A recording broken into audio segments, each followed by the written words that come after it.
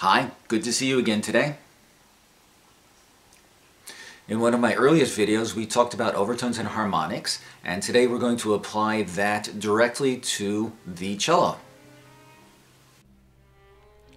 So if you haven't seen my previous video or if you don't remember too well it would probably be a good idea to go back and review it as some of the discussion that will follow will kind of assume that you uh, that you understand some of the terminology that I'm using or the concepts that are involved. So the uh, if you wish to do so, I've included the the link below. Go ahead and watch that if you haven't yet already. Today we'll be looking at the first three harmonics on the cello strings, and we'll begin with the A string. As you may recall, the first harmonic results from each half of the string vibrating uh, independently of the other half uh, with the node directly in the middle of the string. Okay, so I hope you can see in this in this view that the uh, the length of the string goes between the nut and the bridge. Now if I touch the A string exactly halfway along that length between those two ends, if I touch it lightly I will be preventing the, uh, the fundamental from sounding and I'm forcing it to vibrate only along each of the two halves like so right? The full open string would be this. When I touch it lightly at the halfway point, then we'll get our first harmonic. The result is the first harmonic on the string. In this case, it is the A and one octave above the fundamental or open string. And here's the harmonic again. And of course the same is true on all of the other strings as well right? So D string, touch the halfway point, we'll end up with the first harmonic, a D above the open D string, open D, first harmonic, D. Same thing on the G string, G, G,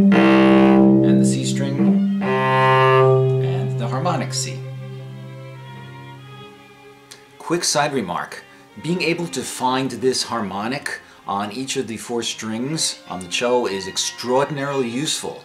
It acts as kind of a gateway to the upper positions on the cello and being able to access it quickly and accurately will make a lot of position work in those upper areas much easier and much more accessible. Let's move on to the second harmonic. Now you may recall from our structure the second harmonic involves the string dividing along three parts of its length. In other words, the, uh, this, the string is kind of divided into three equal pieces. Uh, so there will be two nodes along that length. If I look at um, one third of the string, that'll be here and approximately here. So if I touch it here along that, uh, that one third spot, I will be masking the fundamental pitch as well as the first harmonic and we'll end up with the second harmonic. Okay. You may recall that the second harmonic is one-fifth above the first harmonic. So the first harmonic was an A, and a fifth above that here will be an E.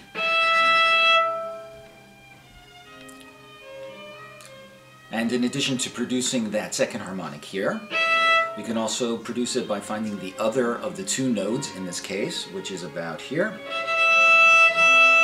also producing an E, the exact same E in fact.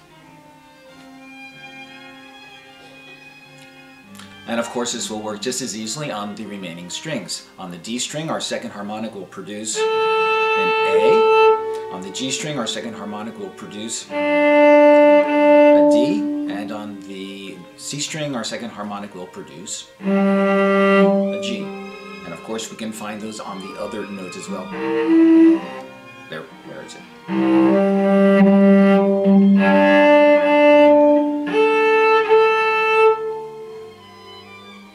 Okay, now what happens if we move on to our third harmonic?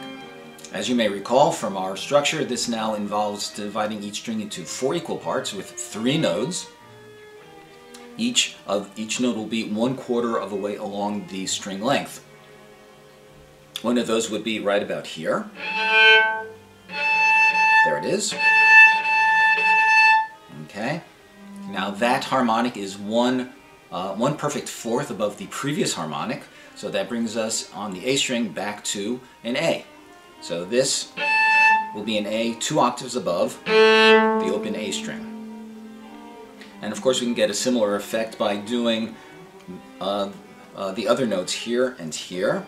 This one we'd have to make arrangements because if we do this by itself it'll sound just like the first harmonic but if we stop the string uh, then it will sound just like the third harmonic does here. And of course the same is true on the other strings. Notice that in each of these cases, this harmonic is two octaves above the open string that it is playing on.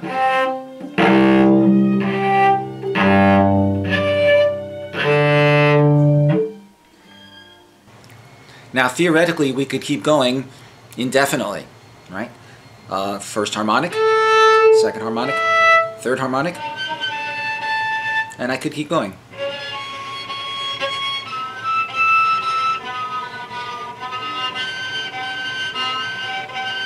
And as you can see, though, as we go further and further along, there are kind of diminishing returns.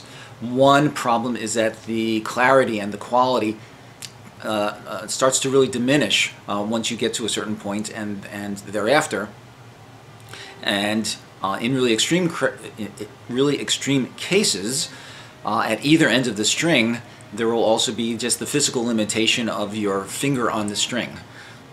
So theoretically, we could go forever practically there are certain limits. So I hope this has provided a useful overview of how harmonics can function on the cello. As always, if you have any questions or comments, please leave a comment here on this video or contact me through my website. Thanks for joining me and I hope to see you again next time.